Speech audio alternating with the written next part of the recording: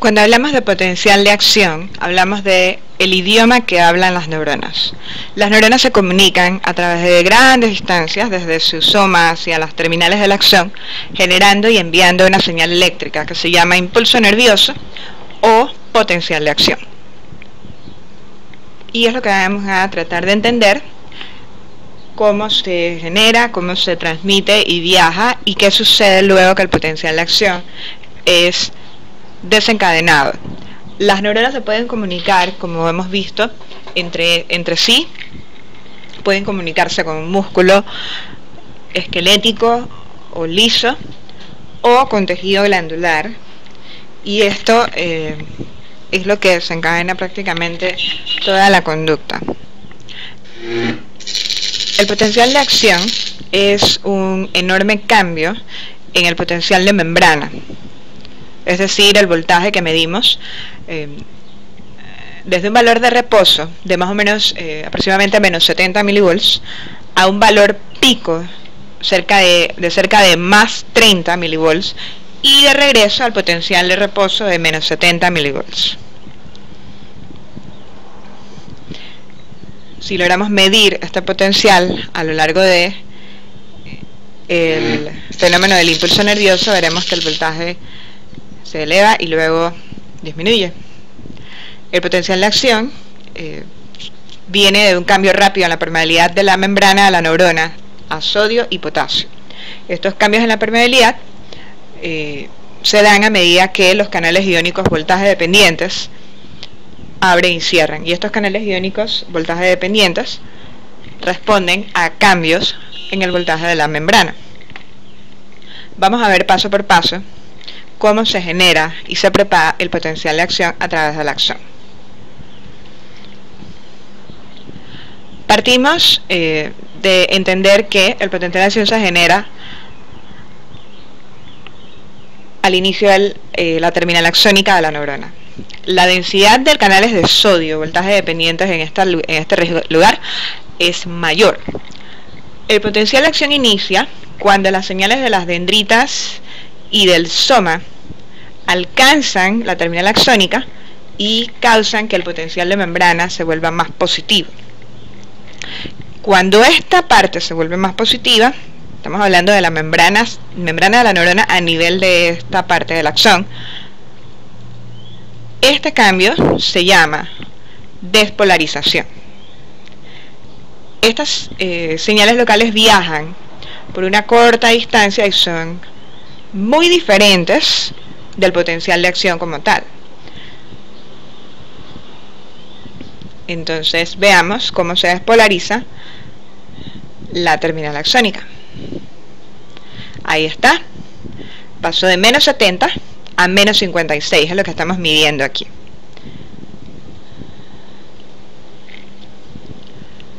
Medida que esa eh, terminal se despolariza, los canales voltaje dependientes para sodio se abren rápidamente, aumentando la permeabilidad al sodio. El sodio se mueve según su gradiente hacia adentro de la célula. Recordemos que está mayor concentración afuera. Y vamos a ver entonces esta despolarización. Los canales se abren, el sodio entra. Recordando también que el sodio es carga positiva.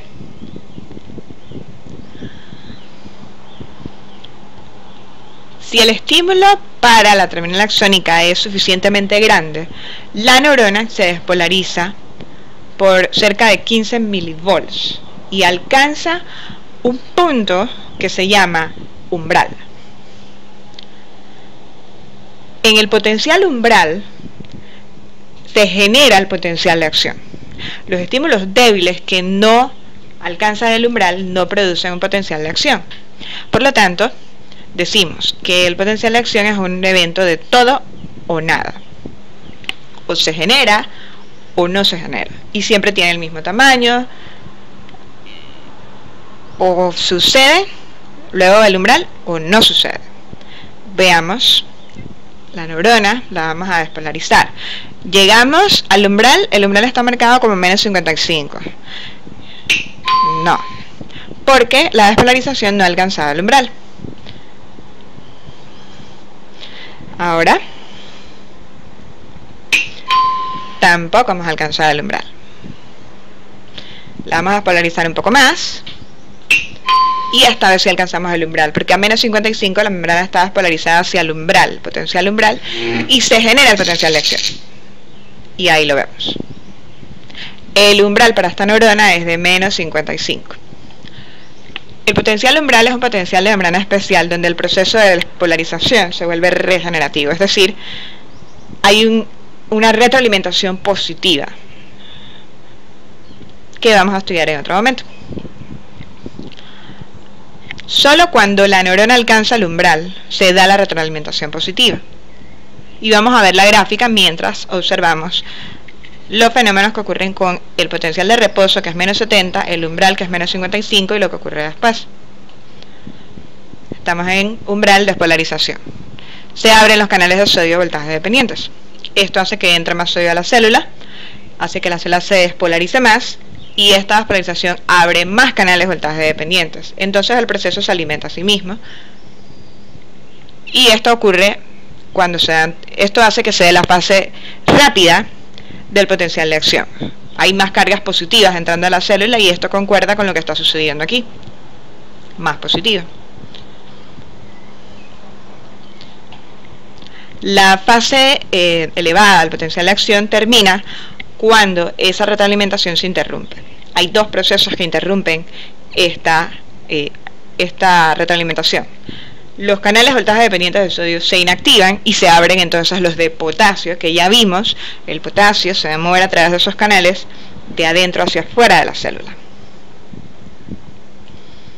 Ahí vemos los canales Tiene una puerta que se abre cuando la célula se despolariza. Esa puerta es sensible a voltaje. Pero tienen una segunda puerta que es sensible al tiempo. Y se, eh, se encargan de inactivar el canal luego que éste ha estado abierto por una cantidad de tiempo.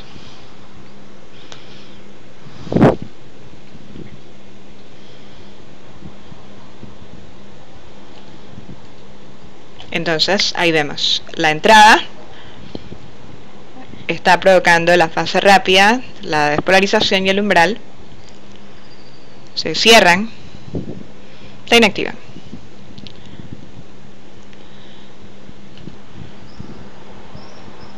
Está cerrado, en reposo.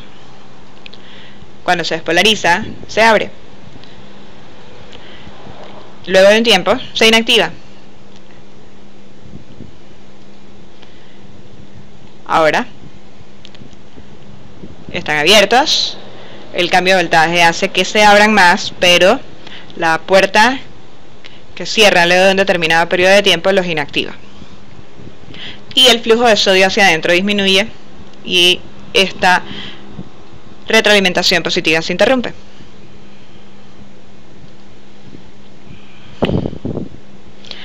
ahora veamos qué pasa con los canales de potasio estos canales voltaje dependientes responden lentamente a la despolarización. Comienzan a abrirse solo luego del tiempo que el potencial de acción alcanza su pico. Lo que ya vimos que pasa con el sodio. ¿Qué está pasando mientras tanto con el potasio? Se abren los canales, el potasio sale. Y observamos que el sodio todavía sigue entrando. Sale potasio. Y los canales se cierran. El potasio sale a medida que los canales se abren y a medida que el potasio sale, son cargas positivas, se termina la despolarización y la retroalimentación positiva se cierra.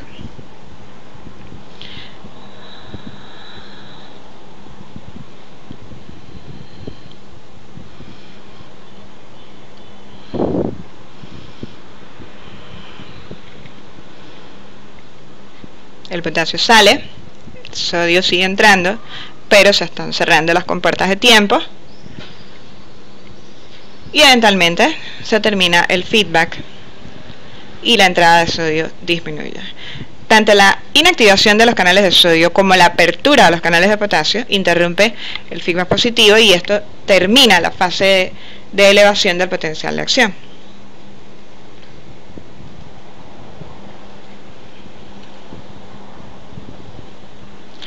Ahora, el potasio sale de la célula por los canales voltaje dependientes.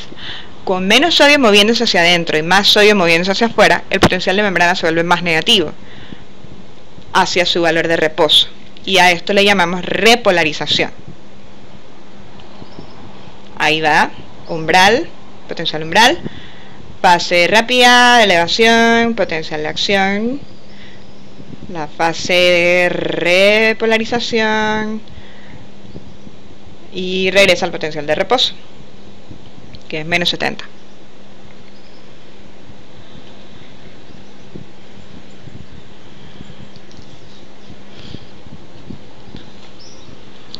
En muchas neuronas los canales de potasio, voltaje dependientes lentos, permanecen abiertos luego de la repolarización y el potasio sigue saliendo, haciendo que la, el potencial de membrana se vuelva más negativo que el de reposo.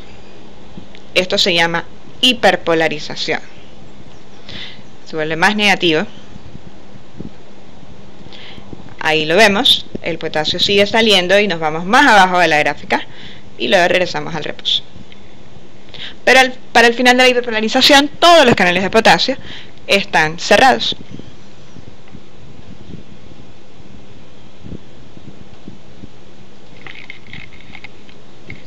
La apertura y cierre de los canales cambia la permeabilidad de la neurona durante el potencial de acción.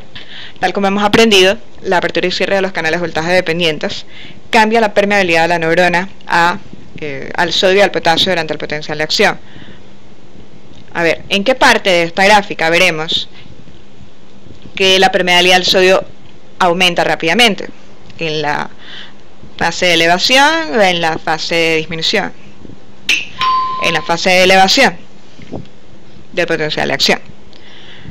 ¿En qué parte del potencial de acción la permeabilidad del sodio disminuye rápidamente? En la fase de repolarización. Porque ya los canales están cerrados.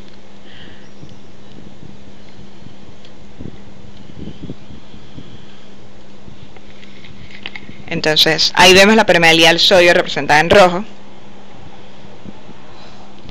Y ahora, cuando la permeabilidad del potasio es mayor en la repolarización. Hemos visto que el potasio va a salir, va a pasar a través de los canales, voltaje dependientes. ¿En qué parte la permeabilidad del potasio está disminuyendo lentamente? En la hiperpolarización.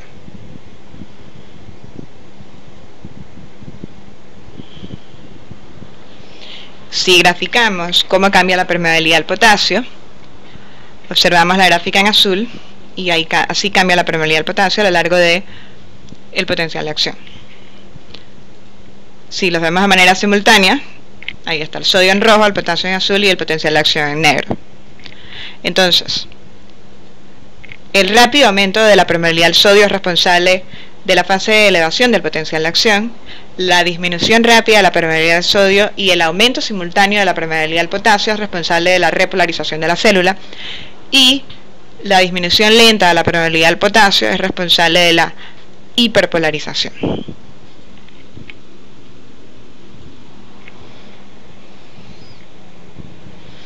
Durante el potencial de acción, los canales de sodio voltaje dependiente se abren rápidamente, luego se inactivan y regresan a su estado cerrado los canales de potasio se abren y cierran más lentamente. Veamos entonces cada fase. Durante el reposo los canales de sodio están, voltaje dependientes y de potasio están cerrados. Durante la despolarización, los canales de voltaje dependientes de sodio están abiertos.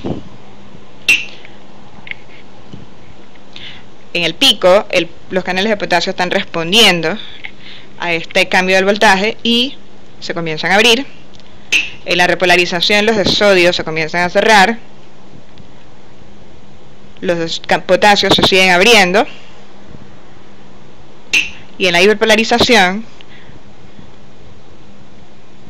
los canales de potasio terminan entonces de cerrarse.